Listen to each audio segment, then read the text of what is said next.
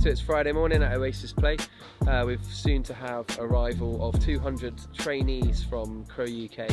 So hopefully with the help of 200 people we can get all the jobs done.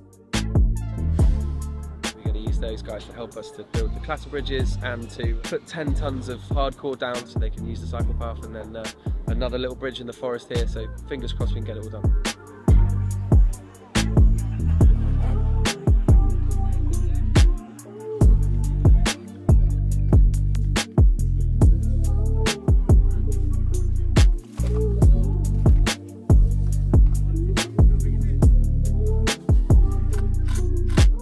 I started at Oasis, we had a structure here that wasn't even safe enough for the kids to use.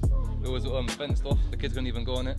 And now, after all the months of hard work from HandsOn, we've got a massive structure that's really tall, and I think our kids are really gonna love it. They've been loving this part of it already, and I think they're gonna see that part on Monday.